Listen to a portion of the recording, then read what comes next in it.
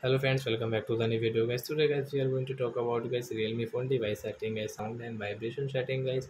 In this video guys i will show you guys i will tell you guys how can you off guys your tap sound. So guys what is tap sound guys? That will tell you first of all. So when you tap guys your button and miss any icon. So as you can see guys this sound guys this little sound.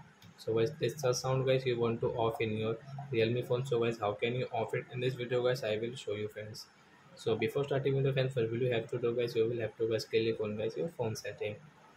Then guys now let's start video. So first of all guys you will have to come in guys your sound and vibration setting.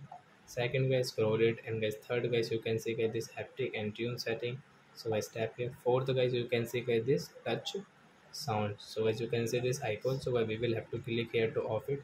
So guys our sound will off means guys tap sound guys when you will tap your phone and guys your button. So guys, this sound will not work so i hope friends you have understood how to off tap sound in our realme phone. So that's it guys. Thanks for watching